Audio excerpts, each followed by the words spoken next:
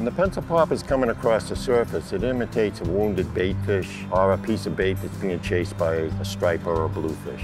When a fish comes up on the pencil popper, the first thing you want to do is not change the retrieve at all. I find that if it comes up a second time and still misses, then I don't put any action, I just reel slow to give them a clean shot at the plug. When I'm using the pencil popper in a current like the Cape Cod Canal, I have my hands like this with the rod up against my leg. And because of the current, you're not reeling very fast. The current is doing the work of the plug. All you're doing is shaking the tip to give it a little bit of action and let it ride with the current through the rip. After you've made your cast in the pencil popper, you've come tight to it with your reel.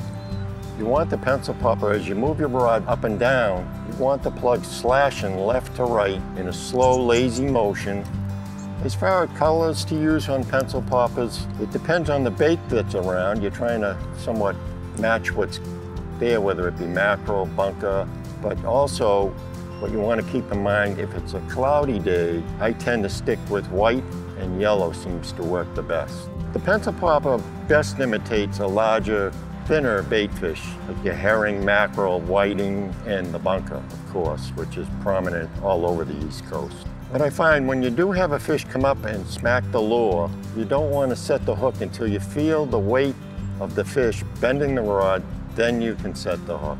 Many times they're going to come up, they're going to slash at it, and they're going to miss. And it's a hard thing to learn. It's probably the hardest thing to learn using a pencil popper. But with a little bit of practice, anybody can do it.